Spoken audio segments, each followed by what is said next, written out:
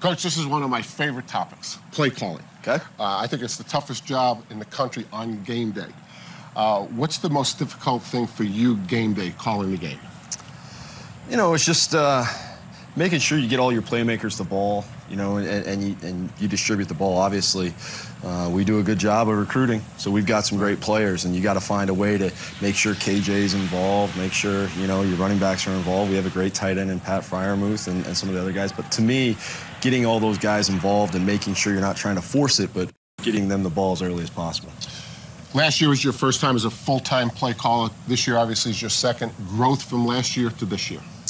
Yeah, I think in anything in life, the more experience you have, the better. You know, there's situations that happened last year that, you know, now I have that experience, and, and experience is key. You know, and so I think uh, just being able to be able to look back on those, maybe be able to anticipate some of those things that come up, that's going to be critical for me.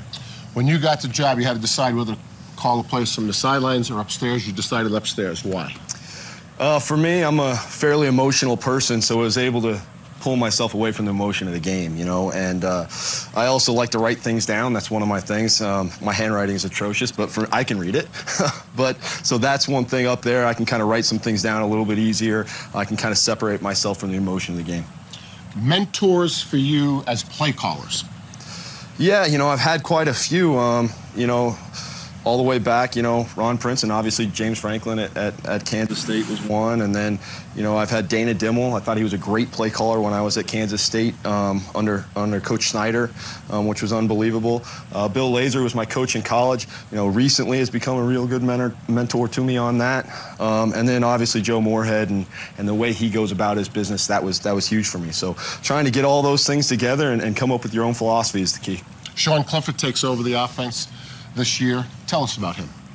Competitive kid, um, strong arm, much better athlete than people give him credit for.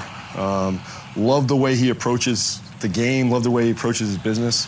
Um, and he's a kid who loves football. I like to surround myself with guys who love football, and, and he's certainly one of those guys. Do you get nervous before the game? Uh, you know, I get nervous a little bit before the game, but you know, my players have a tendency to calm me down. So, you know, I got great guys and great coaches, so no, it's not too bad. Have a great game. All right, appreciate it. Thanks, Thank Coach. you.